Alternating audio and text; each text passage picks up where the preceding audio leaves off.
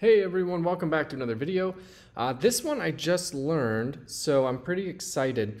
I could not figure out how to do this in uh, DaVinci Resolve yet, so I'm gonna look into it, and I can't, I couldn't find any videos, but I wanted to put this out there for anybody who might be trying to do it.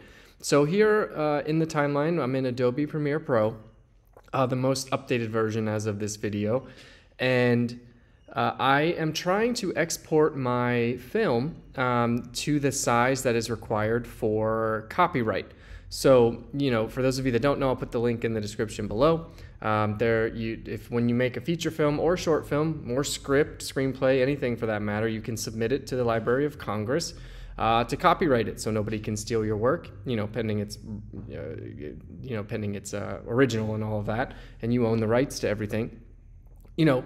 But the problem is when you go through and do it for a motion picture, um, they have upload requirements. Now, of course, you can um, you can send it, you know, via hard drive or USB or whatever. But again, you know, they even tell you when you submit, hey, it could take four to six months before you get your certificate, yada yada.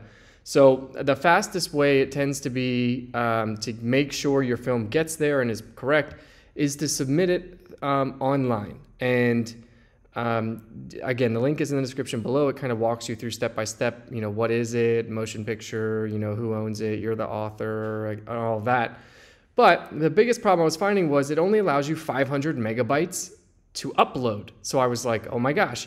So in Resolve, I couldn't quite find a way to do it. You know, just being brutally honest. Um, I researched it, couldn't find it. So I did figure out how to do it in Premiere Pro though. So what I've done is uh, I've exported the film from DaVinci Resolve and now I've just brought it into Premiere Pro and that's what you see here. By the way, this film will be available soon um, on many platforms, so I will make that announcement as well. But just to keep this short, basically I want to export this video, right? I want to export this video um, to the right size. So how do you do that? Obviously, most exports are going to be too big. Um, this is an hour and a half movie, 100 hour and 35 minutes, and it's just too big. Um, you know, if you go to custom whatever, let's say we want to do it in H264, I mean, you're looking at 8,450 megabytes. It's got to be 500 or below. So how do we do that? Well, the way the easiest way I found is instead of messing with all this stuff and going through settings and trying to just keep going, keep going Go down, this will be closed when you go here.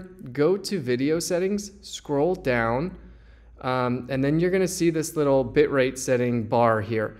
Use this until you get the size you need. It's actually pretty easy. So if you drag it just all the way to the end, bam, 366 megabytes, I'm already good. Now remember, they don't need a super high definition quality film. They just need to be able to see the film and say, yes, this is their film, it's copyright, it belongs to this person. Obviously, this film is that film, you know, and so we're good. So, you know, it's going to come out a little, you know, it's going to come out, you see, it's not of the highest quality, but you can still very clearly see the film. I mean, you can see the actors, you can see the story. This isn't terrible. So, you know, you just uh, mess with this target bit rate and until you get the file size where you need it, which for us is um, 500 megabytes or below and then you export and boom, you've got the right size and it should upload to the Library of Congress website, no problem. All right, guys, just want to do this quick video. Uh, I, I, needed the help and I couldn't find it, so um, I wanted to pass it on to you guys. Hey, best of luck to your films. Later.